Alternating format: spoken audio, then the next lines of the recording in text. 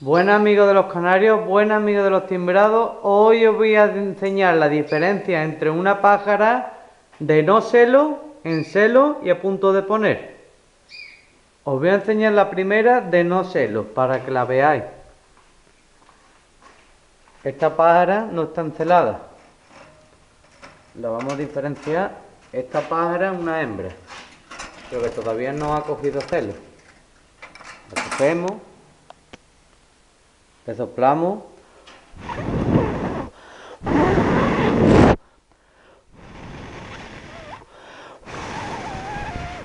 Vemos que tiene el culo muy pequeño y siempre volado para atrás.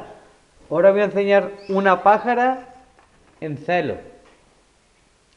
Que sería, por ejemplo, esta, que está en celo. Esta está en celo. Ya mismo le tengo que poner el nido. La cogemos. Siempre de la cabeza. Y soplamos.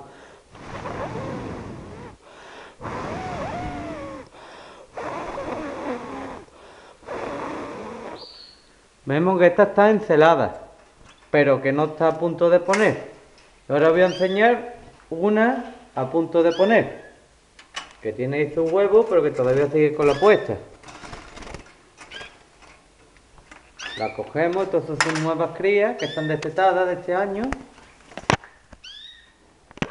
La cogemos de la cabeza, siempre por la cabeza.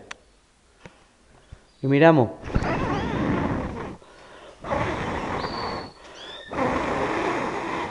Esta está poniendo huevos, se ve que está mucho más hinchada.